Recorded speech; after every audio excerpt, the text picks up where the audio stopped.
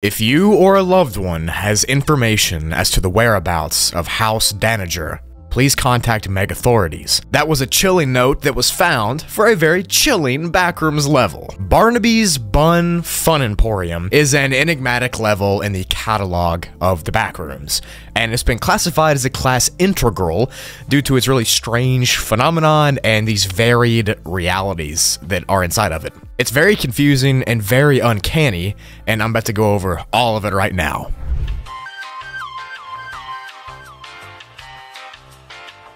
Across Wanderers inside of the backrooms, Barnaby's Fun Emporium is probably one of the most horrific and strange levels that we found as of this date.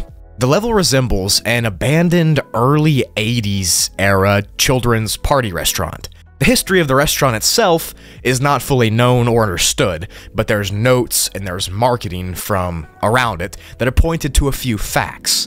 We know for sure that the company that owned this restaurant went bankrupt in the year 1990, and that the restaurant's name is Barnaby's Bun Fun Emporium, and Barnaby seemed to close in 1989. The level's existence has brought forth several theories about the backrooms and how it relates to real life and the concepts of heaven and hell. There are several just strange demonic items and images that have been found in this level, as well as some very dark concepts and themes, too. There's been several items of interest taken from this level to be examined by Meg, and those are Barnaby party decorations, expired ingredients, expired soda, and party-themed merchandise like balloons and confetti, and then finally, frozen pizzas.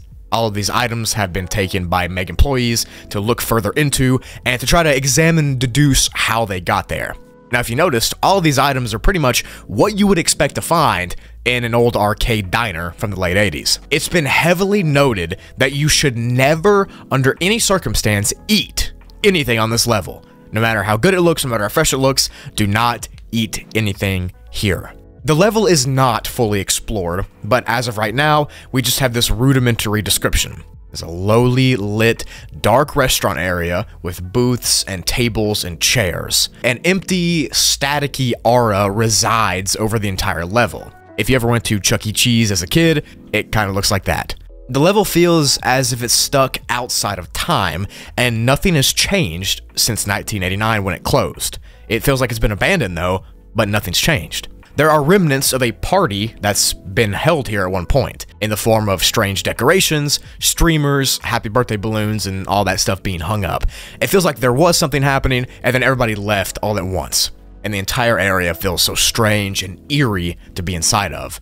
Only one entity has been documented to exist within the level's confines, and it's been described as a large Leporidae-like figure, which is the company's mascot, Barnaby. Now, a Leporidae is a type of rabbit, so you can kind of imagine an uncanny rabbit animatronic mascot thing. That's what Barnaby looks like. Now, from this description, we also get the little tidbit that the logo for Barnaby's Fun Emporium has this rabbit's face in it. That's pretty much all the information we know about the business itself. We know that it has a bunny face on it, and we know that it's named Barnaby's Bun Fun Emporium. Who knows if that means something, but it's cool nonetheless. The behaviors of Barnaby and its aura have been described as the following. Barnaby rarely shows itself to visitors, and when or if it does, it'll slowly appear from the darker corners of the restaurant with an unbreaking and piercing gaze. It's pretty much just staring holes through you and if anybody else is there. Barnaby almost never speaks or vocalizes, and any audio that comes out of its suit is very staticky and unintelligible gibberish. It just kind of sounds like a robot talking, but a broken one. Its attitude and treatment of wanderers that visit the level will change depending on who's there. Sometimes Barnaby's passive, and they don't even acknowledge that you're there, but other people will get attacked instantly by Barnaby without hesitation and these attacks are very ruthless. Barnaby will bite and claw and scratch and pretty much tear its victims from limb from limb, and what Barnaby does with these victims afterwards is unknown. We don't know if it consumes them or stores them somewhere. We have no idea. There have been numerous attempts and investigation to find the bodies of missing people here, however, none have succeeded. Barnaby is incapable of leaving the Levels restaurant or escaping the level at all. Even though it's displayed a high level of intelligence, and it seems to be fully aware of its surroundings, Barnaby's existence is still unknown.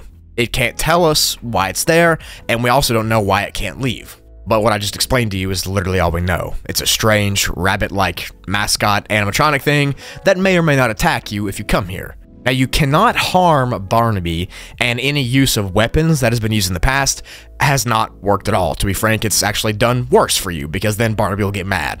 And this just makes the creature that more dangerous, as if it could have gotten scarier than a giant animatronic bunny. There are no bases here, of course. I doubt Barnaby would enjoy or appreciate that. And if you come to the Fun Emporium, the only known entrance is from level 4, the office building.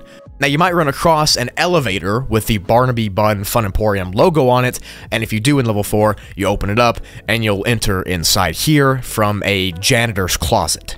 Now, exiting the level is as simple as getting back in that elevator that you used to enter. The only problem is, occasionally the entrance to this elevator will not open. It'll just be stuck closed, and it's been known to change itself into that janitor's closet for extended periods of time before turning back to the elevator. So you better hope that when you're trying to leave, Barnaby isn't fed up with you and chasing you around because you don't have time to wait for the elevator then. But this exit is not guaranteed to appear instantly. Barnaby's Fun Emporium is not very well understood, and even the information I just told you took forever for Meg to catalog and describe. As of right now, it's a very, very dangerous thing to get sent here since your safety cannot be guaranteed because, you know, Barnaby has his own mind. It's been kidnapping people for years.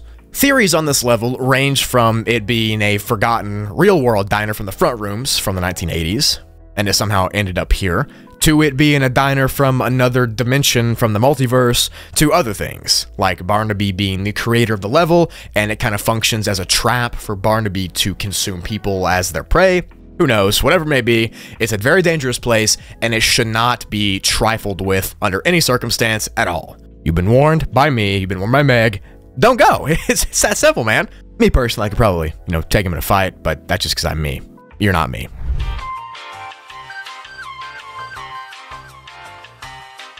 That's it for today. I hope you enjoyed this level. Uh, it's super OG, and honestly, I don't even know how it took me this long to go over it. I meant to do it last year, but oh well, better late than never.